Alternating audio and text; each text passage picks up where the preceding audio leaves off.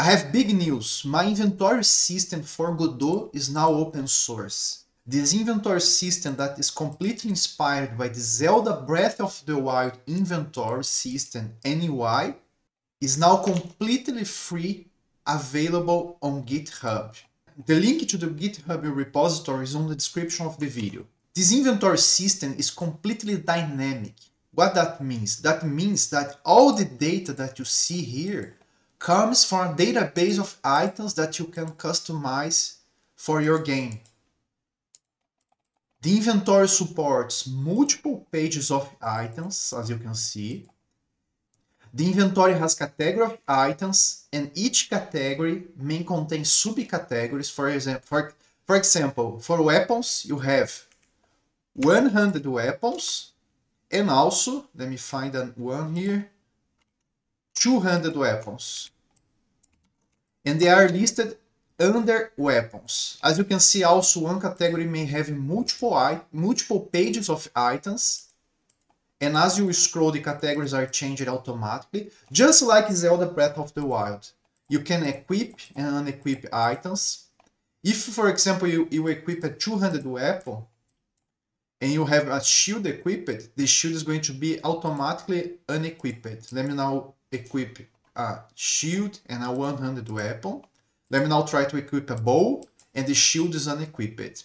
The repository has a sample game just to show you picking up new items and they appear in the inventory.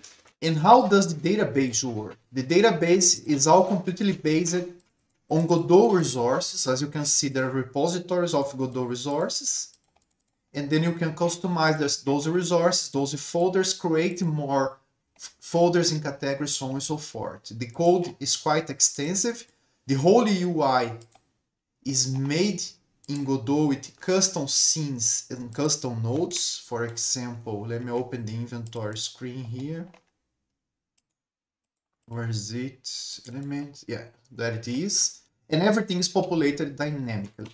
And if you want to learn how to build this from scratch, if you want to learn everything about Godot, scripting, UIs, resources system, dynamic system, so on and so forth, this inventory system and UI is built from scratch in my complete Godot course Game User Interfaces Masterclass. So if you wanted to learn everything about making extensive user interfaces with Godot, dynamic system, custom resources, custom data, databases of items, GDScript from beginning to end, from basics to advanced, and I mean everything about Godot's user interface dynamic systems, you have to check this course. This course is available on itch.io, it's also available on Skillshare and Udemy. The link to the courses in all three platforms are on the description of the video. And if you are going to get the course either on Skillshare or Udemy, please use my link because then I get a bigger fraction of the sale. This course is getting very good reviews. For example, just four days ago, I got, I got this very nice review by Andrew where he says this is such an excellent course to learn everything about Godot. On Udemy, I have only three reviews, but all of them are five stars.